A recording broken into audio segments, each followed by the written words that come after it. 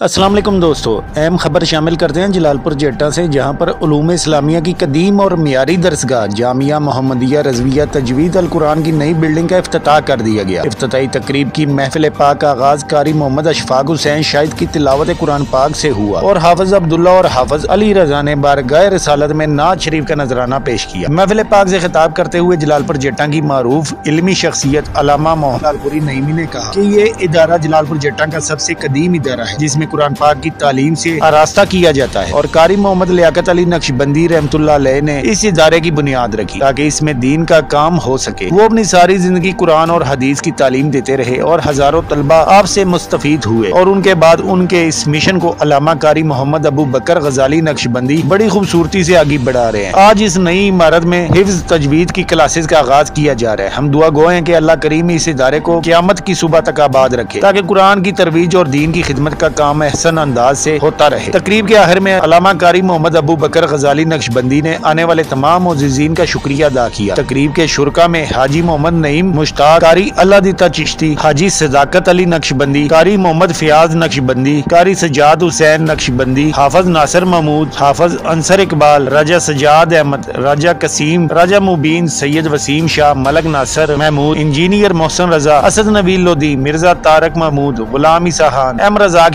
Shakir Mutassar Dar, Shahid Dar, doctor Arshad Mirza, Rana Shahid Pasha, Hafiz Maqsood Ahmed जोए भट्ट और देगर भी मौजूद थे। तो नाजरीन, ये थी अब तक की अहम खबर। इसके साथ ही मैं इजाज़त चाहता हूँ। अल्लाह के